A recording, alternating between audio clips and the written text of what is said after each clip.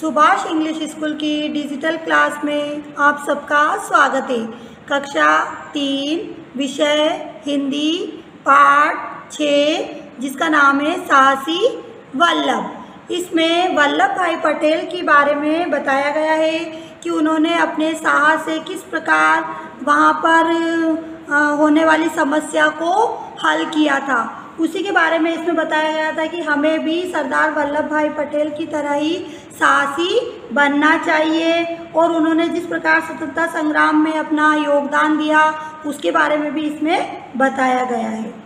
बात पुरानी है, गुजरात के एक गाँव में वल्लभ नाम का एक बालक रहता था।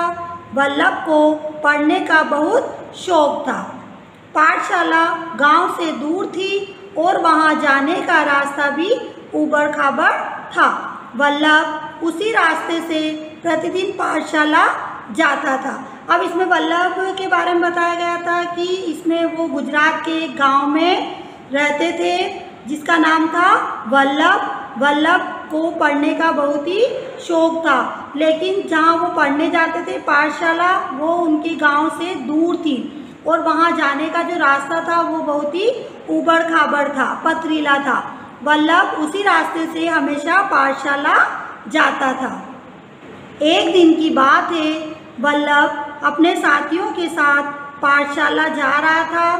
तभी उसके पैर में नुकीला पत्थर लगा। पैर में चोट लगने से रक्त बहने लगा। एक दिन की बात बताई गई इसमें कि वल्लभ अपने साथियों के साथ पाठशाला पढ़ने के लिए जा रहे थे। तभी रास्ते में उनके पैर में एक नुकीला पत्थर लग गया था, जिसके कारण उनके पैर में चोट लगी थी और चोट लगने से रक्त बहने लगा था। आपको इस चित्र में दिखाई दे रहा है, ये वल्लभ है। इनके पैर में चोट लगी है, ये पाठशाला, ये अपने साथियों के साथ पाठशाला जा रहे हैं। अपनी चोट की परवाह न करते हुए उसने निश्चय कर लिया कि आज वह इस नुकीले पत्थर को निकालकर फेंक देगा। वह पत्थर निकालने का प्रयास करने लगा। पत्थर इतनी आसानी से निकल ही नहीं रहा था, पर बल्लभ कहाँ हार मानने वाला था? वह उसे निकालने में लगा रहा। उसका शरीर पसीने से तरबदर हो गया। तो जब उसको चोट लगी थी तो उसने अपने चोट की परवाह नहीं की और उस पत्थर को निकालने का निश्चय उसने कर लिया था। उसने सोचा कि आज तो मैं इस पत्थर को निकाल कर ही रहूँगा और वो उस पत्थर को निकालने का प्रयास करने लगा। पत्थर बहुत ही अंदर था तो वो निकल नहीं पा रहा था, लेकिन फिर भी वल्लभ ने हार नहीं मानी और उसे निकालने में लग गया। उसका शरीर जो था, वो पसीने से पूरा तरबदर हो गया था। उसे बहुत ही पसीना आ रहा था, लेकिन फिर भी उसने हार नहीं मानी। वल्लभ के साथी उसे अकेला छोड़कर चले गए, पर उसने हिम्मत न हारी। अंत में उसकी हिम्मत जीत गई, पत्थर निकल गया। उसने पत्थर को उठाकर सड़क के किनारे फेंक दिया तथा खाली गड्ढे को मिट्टी से भरकर रास्ते को ठीक कर दिया। उसके पैर से रक्त बह रहा था। अब उसके जो मित्र थे, वो तो उसे छोड़कर चले गए थे। लेकिन वल्लभ ने अकेले ही साहस दिखाया और उसने उस पत्थर को निकालने निकालने का बहुत प्रयास किया और अंत में वो पत्थर निकल गया क्योंकि उसने अपनी हिम्मत जुटा रखी थी, उसने अपनी हार नहीं मानी थी और जैसे ही वो पत्थर निकला, उस पत्थर को उठाकर उसने सड़क के किनारे फेंक दिया और वहाँ पर जो गड्ढा बन गया था, उसे मिट्टी से भरकर पूरे रास्ते को उसने ठीक कर दिया था। इस बीच उसके पेड़ से बहुत ही रक्त बह रहा था। उसके पेड़ से खून निकल रहा था। वह विद्यालय विलंब से पहुँचा। गुरुजी ने देर से आने का कारण पूछा। वल्लभ ने पत्थर हटाने वाली घटना बताई। गुरुजी गदगद हो गए। उन्होंने वल्लभ को गले से लगा लिया। उसके पैर के अंगूठे पर मरम पट्टी की और बोले, बेटा सब लोग रुकावटों से बचकर निकल जाने का आसान रास्ता ढूंढते हैं। परंतु तुमने रुकावट डालने वाले पत्थर को ही हटा दिया। अब ये सब घटना घटित हुई तो वो विद्यालय देर से पहुँचा। अब गुरुजी ने उसके अध्यापक ने उससे देर से आने का कारण पूछा। तब वल्लभ ने पत्थर हटाने वाली सारी घटना अपने गुरुजी को बताई। गुरुजी को बहुत ही प्रसन्नता हुई, वो बहुत खुश हुए। और उन्होंने वल्लभ को क्या किया? गले से लगा लिया। तभी उन्होंने उसके पैर के अंगूठे पर मरम पट्टी लगाई और उससे बोले कि, बेटा, सब तो रुकावटों को देखकर चले जाते हैं, उससे बचकर निकल जाते हैं, लेकिन तुमने बड़ी हिम्मत दिखाई और तुमने उस रास्ते को सही बना दिया। अपने को कष्ट था तो भी उसने उस रास्ते को सही बनाया और अकेले उसने प्रयास करके उस रास्ते को सही कर दिया था। तब उस, उनके गुरुजी ने गुरुजी ने उसे शाबाशी दी। हाँ आपको इस चित्र में दिखाई दे रहा है ना, ये गुरुजी हैं, ये वल्लभ है और ये उसके साथी है। तो ये सारी घटना के बारे में इनको बता रहे हैं और गुरुजी भी इसी तरह इनको शाबाशी दे रहे हैं। अब उस रास्ते पर चलने में सबको आसानी रहेगी। वह बालक और कोई नहीं। सरदार वल्लभ भाई पटेल थे। लोग उन्हें लौह पुरुष के नाम से जानते हैं। वे हमारे देश के पहले गृह मंत्री बने।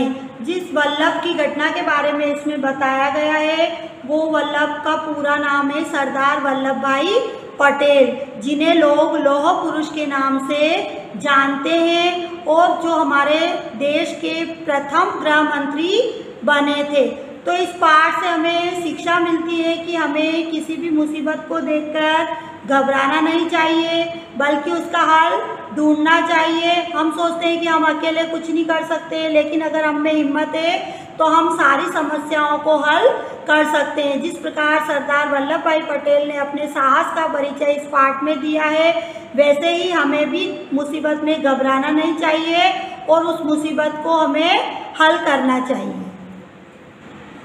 अब इस पाठ से संबंधित प्रश्नों को हम हल करेंगे। पाठ छः, जिसका नाम था साहसी वल्लभ। सबसे पहले इसके शब्दार्थ है। इसमें पहला है उबड़ खाबड़, जिसका अर्थ होता है ऊँचा, नीचा। अगला है प्रयास, इसका अर्थ है कोशिश या प्रयत्न। विलंब, अर्थ है इसका देर। गदगद, हो जाना। इसका मतलब होता है अत्यधिक प्रसन्न होना। रक्त। इसका अर्थ होता है खून। तर। तर का अर्थ होता है अधिक भीगा हुआ। अगला है रुकावट। इसका अर्थ है अवरोध या बाधा। अब अगला प्रश्न हमारा निम्नलिखित प्रश्नों के उत्तर लिखिए। इसमें पहला है, वल्लभ के गाँव से पाठशाला तक का रास्ता कैसा था? उत्तर है, वल्लभ के गाँव से पाठशाला तक का रास्ता उबड़ खाबड़ था। अगला प्रश्न है, शाला जाते समय वल्लभ को क्या परेशानी हुई? उत्तर है, शाला जाते समय वल्लभ के पैर में नुकीला पत्थर लगा, जिससे पैर में चोट लगने से रक्त बहने लगा। अगला प्रश्न है, रास्ते में गड़े नुकीले पत्थर को निकालने का फैसला वल्लभ ने क्यों किया? उत्तर है क्योंकि वह नुकीला पत्थर आने जाने वालों के लिए रुकावट बन रहा था। इसलिए वल्लभ ने उस पत्थर को निकालने का फैसला किया। अगला प्रश्न है, वल्लभ को विद्यालय पहुँचने में देर क्यों हुई? उत्तर है क्योंकि वल्लभ ने रास्ते में पड़े नुकीले पत्थर को निकालकर फेंका तथा खाली गड्ढे को मिट्टी से भरकर रास्ते को ठीक कर दिया। इसलिए उसे विद्यालय पहुँचने में देर हो गई।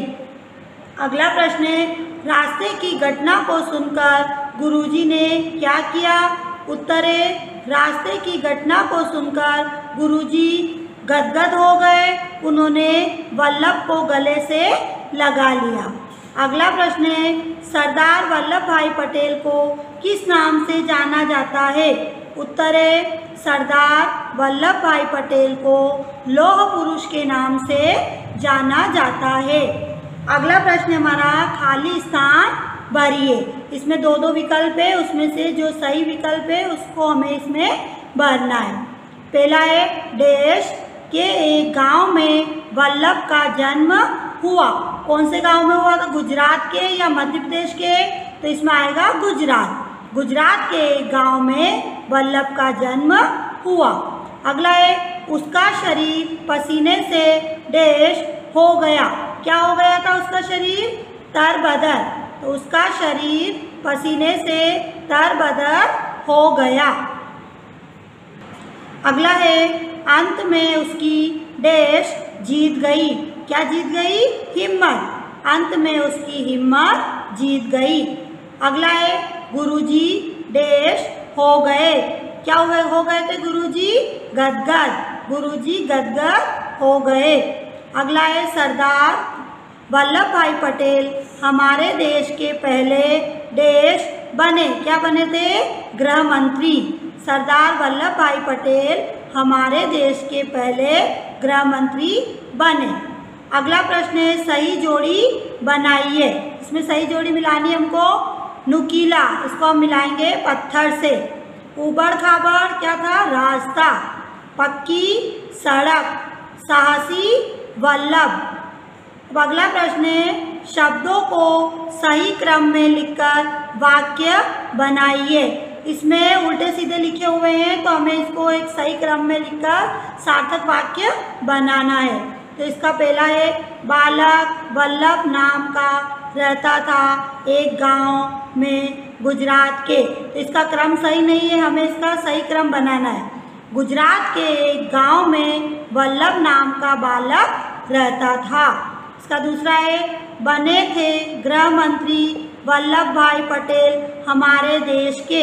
इसका सही क्रम है, वल्लभ भाई पटेल हमारे देश के गृह मंत्री बने थे। अगला है, लगा लिया गले से गुरुजी ने वल्लभ को। तो सही क्रम है, गुरुजी ने वल्लभ को गले से लगा लिया। अगला है, उठाकर दिया फेंक वल्लभ भाई ने पत्थर को। सही क्रम में इसका, वल्लभ भाई ने पत्थर को उठाकर फेंक दिया।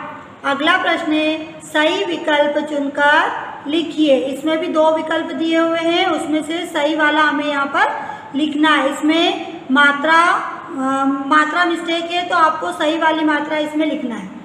इसका पहला है लोग सरदार पटेल को देश नाम से जानते हैं। तो पहला दिया हुआ है लोहा पुरुष या दूसरा है लोह पुरुष। तो किसके नाम से जानते हैं? लोह पुरुष।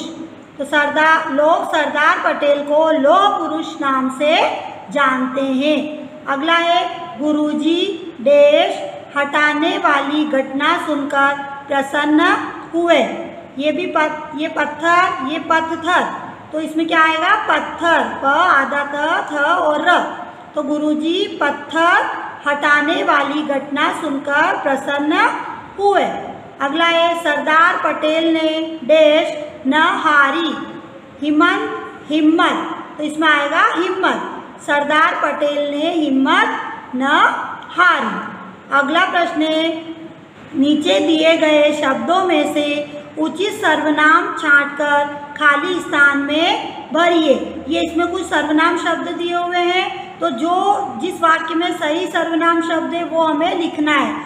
तो ये शब्द है, मैं, वह, तुम, उसका। तो इसका पहला है, हेमंत ने संजय से कहा, देश फुटबॉल अच्छा खेलते हो। तो क्या आएगा? तुम। तुम सर्वनाम शब्द इसमें आएगा। अगला है, नवीन इंदौर में रहता है। देश वहाँ नौकरी करता है। तो क्या आएगा इसमें? वह नवीन इंदौर में रहता है। वह वहाँ नौकरी करता है। अगला है, देश पत्र लिख रहा हूँ। तो क्या आएगा इसमें? मैं मैं पत्र लिख रहा हूँ। अगला है, एक बुढ़िया थी देश एक पोता था। तो क्या आएगा? उसका। एक बुढ़िया थी, उसका एक पोता था। अगला प्रश्न है, निम्नलिखित वाक्यों में से सर्वनाम शब्द छांटकर लिखिए। अब एक वाक्य दिया हुआ है, इसमें से जो सर्वनाम शब्द है वो हमें यहाँ पर लिखना है। तो इसका पहला है, मैं पुस्तक पढ़ता हूँ। तो इसमें सर्वनाम शब्द क्या है? मैं। अगला है, वह अपना काम करता। तो इसमें सर्वनाम शब्द क्या क्या है? वह और अपना। अगला है, वह अभी दतिया गया है। तो इसमें सर्वनाम शब्द क्या है? वह। अगला है, उसका भाई स्कूल गया है। तो इसमें सर्वनाम शब्द है उसका। अगला है, राम नदी पर गया है, वह उसमें तैरेगा। तो इसमें सर्वनाम शब्द क्या हो गया? वह और उसमें। तो ये पाठ आपका यहीं पर समाप्त हो गया है। जो पीडीएफ आपको दिया जाएगा मोबाइल में, उसे आपको अपनी कॉपी में लिखना है और लर्न करना है। धन्यवाद।